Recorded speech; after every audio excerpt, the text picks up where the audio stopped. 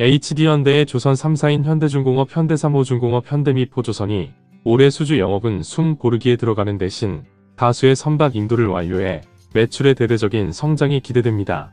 현대중공업은 2017년 6년 만에 연간 매출 10조 원을 넘기고 현대삼호중공업은 창사 이래 처음으로 5조 원을 넘어 6조 원대 달성에 도전하며 현대미포조선도 2011년 기록한 사상 최대 4조 1천억 원대를 넘어서겠다는 각오입니다. 6일 조선업계에 따르면 HD현대 조선 3사는 지난 3일 올해 영업 전망 목표치를 공시했습니다. 현대중공업은 매출 목표액을 12조 1209억 원으로 제시했습니다. 이는 지난해 추정액 9조 3044억 원보다 30.3% 증가한 액수입니다. 수주는 118억 5,700만 달러를 달성하겠다는 계획입니다.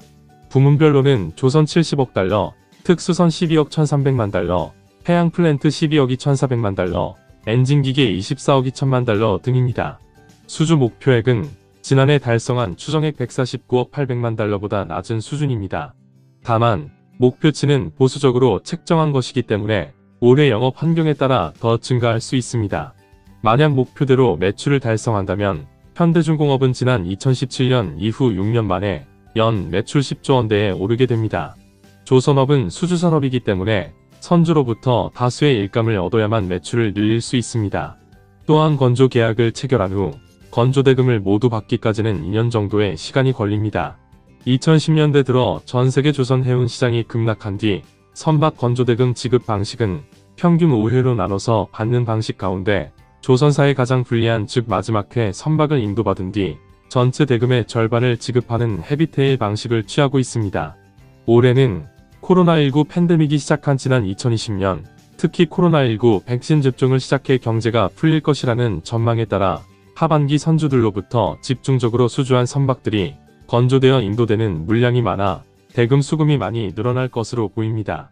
이미 현대중공업과 현대삼호중공업, 현대미포조선은 지난해 하반기에 분기별 영업이익이 흑자로 전환됐는데 올해는 1년 내내 인도가 이어지므로 연간 기준 영업이익 흑자도 확실시됩니다. 물론 흑자 시대를 열었다고 해도 완전히 시황을 회복했다고 보긴 어렵습니다. 현대중공업 매출액은 2000년대부터 10조 원대를 꾸준히 유지해오다가 2011년에는 25조 196억 원에 이어 2012년 25조 550억 원으로 사상 최대치를 기록했습니다. 이후 수주가 줄면서 내리막길을 걸은 뒤 2018년 8조 667억 원으로 10조 원 아래로 떨어졌고 2019년에는 1990년대 수준인 5조 4,567억 원까지 내려앉았습니다. 그러다 다음 해부터 반등해 조금씩 매출이 늘어나고 있습니다. 현대삼호중공업은 1999년 창사 이래 최대 실적에 도전합니다. 올해 매출 목표액은 6조 510억 원, 수주는 26억 달러를 달성키로 했습니다. 이번에 현대삼호중공업이 매출 목표를 달성하면 마의 4조 원대를 돌파한다는 점에서 의미가 있습니다. HD현대는 조선 3사의 업무 효율성을 높이기 위해 중간 지주사인 한국조선해양이 선박 영업을 총괄하고 이를 현대중공업 울산조선소와 현대삼호중공업 전남 영암조선소, 현대미포조선 울산조선소의 물량을 배분하는데 한국조선해양은 현대삼호중공업의 안정적인 건조 시스템 유지를 위해 초대형 선박 물량을 많이 배분해 왔습니다. 이를 통해 현대삼호중공업은 조선산업이 어려움을 겪을 때도 최소 2조 원대 매출을 유지했습니다. 대신 최대 4조 원대는 넘어서지 못했으며 2011년 기록한 최고액이 4조 8287억 원이었습니다. 작년에는 4조 6798억 원을 기록했을 것으로 추정하고 있습니다. 또 올해 수주 목표액은 지난해 성과인 86억 6200만 달러에 비해 28.4%에 불과해 자칫 수주가 부진할 것이라고 볼 수 있는데 실상은 그렇지 않습니다. 이미 3년치 이상의 일감을 확보한 만큼 한국조선해양은 이만한 수준의 물량을 배분하겠다는 계획으로 보면 됩니다. 중형 선박 건조를 전문으로 이 부문 세계 시장 1위인 현대미포조선은 올해 매출 목표액 4조 1524억 원, 수주는 37억 달러를 달성하겠다고 밝혔습니다. 매출은 지난해 추정치 3조 6742억 원보다 높고 수주는 실적액과 비슷한 수준입니다. 또 지난 5일 새해 첫 선박인 4만 큐빅미터급 LPG 운반선을 인도한 현대미포조선은 올해 총 60여덟 척을 인도하겠다는 목표도 밝혔습니다. 위에서 말한 대로 선박을 인도한다는 것은 대금을 모두 받아 매출이 증가한다는 것을 의미합니다. 현대미 포조선의 매출 목표액은 지난 2011년 기록한 회사 최대치인 4조 1738억 원에 약간 못 미치는 수준입니다. 이에 따라 올해 HD현대 조선 3사의 수주 목표액은 181억 5,700만 달러로 집계됐습니다. 수주 호황을 맞은 조선업계가 외국인 인력 채용이 더딘 데다 현장을 떠난 국내 인력이 되돌아오지 않으면서 인력난에 여전히 허덕이고 있습니다. 정부가 외국인 인력 쿼터제 등을 대폭 완화했지만 실제 채용까지 수개월이 소요되면서 여전히 현장에서는 노동력 부족에 아우성칩니다. 5일 경남 거제의 양대 조선소와 관련 당국 등에 따르면 2021년 하반기부터 수주 호황을 맞으면서 3년치가 넘는 일감을 확보했으나 노동력이 부족해 공정에 차질을 빚고 있습니다.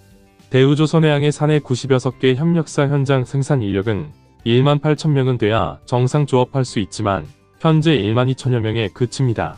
발판 설치 해체 협력사인 A사는 한때 500명이 근무했으나 현재는 200명만 남아 있을 뿐 현장을 떠난 인력은 돌아오지 않고 있다고 했습니다.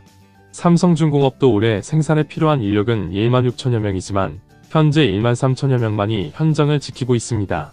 현장 인력 3천여 명이 부족한 실정입니다. 이에 삼성중공업은 최근 입국한 인도네시아 국적 용접 전문 인력 41명을 산업안전교육 등을 마친 뒤 현장에 투입한다는 계획입니다. 대우조선해양도 당장 급한 현장 인력 5, 600명을 외국인 노동자로 충원할 방침입니다. 문제는 부족한 인력난을 해소하기 위해 정부가 지난해 4월부터 외국인 인력 쿼터제를 대폭 완화했지만 행정 절차 등의 장시간이 소요되면서 실제 입국자는 소수에 그치고 있다는 점입니다. 한국조선해양 플랜트협회가 지난해 7월 말부터 총 17차례에 걸쳐 해외 현지에서 기능 인력 기량 검증을 했는데 통과한 3,500여 명 중 실제 입국자는 3% 수준인 90여 명에 그치고 있습니다. 이처럼 외국인 인력이 실제 들어오기까지 행정 절차가 5개월 이상 걸려 국내 조선업계에 올해 상반기에 충당돼야 할 용접공 4천여 명을 채우기는 사실상 불가능합니다. 현장의 요구에 정부 대책이 뒤따르지 못하면서 인력 수급이 적기에 이뤄지지 않고 있는 셈입니다. 이와 함께 업계에서는 국내 인력 수급의 근본 문제가 임금이라고 지적합니다. 기존 조선소 용접 인력이 인건비가 비싼 반도체 공장 등으로 대거 빠져나가고 있기 때문입니다. 반도체 공장 등과 비교할 때 조선협력업체 인건비는 7, 80% 수준인 것으로 알려졌습니다. 이에 조선업계 한 전문가는 조선업 호황 이면에 일감은 있는데 일할 사람은 없는 극심한 인력난이라며 외국인 근로자들의 검증 인력을 더 늘려 행정 처리의 속도를 내는 것은 물론 인력난 해소를 위한 정부의 특단의 대책이 필요하다고 말했습니다. 오늘 영상은 여기까지입니다. 감사합니다.